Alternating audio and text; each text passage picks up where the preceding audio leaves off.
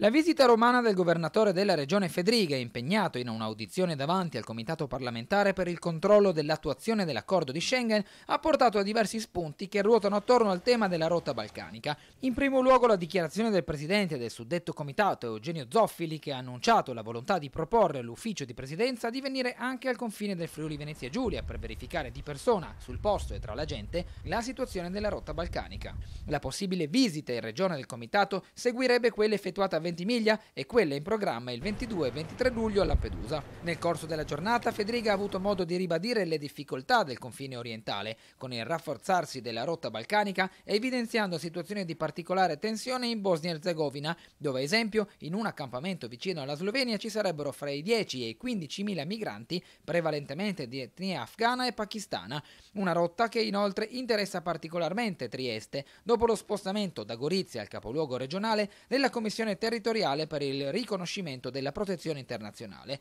È stato predisposto un aumento del personale da parte del Viminale, ha aggiunto il governatore, commentando anche le relazioni con l'Ungheria su precise domande dei parlamentari, dove Federica ha ringraziato il governo ungherese perché ha fatto quello che prevede Schengen, ovvero anche il presidio dei confini europei.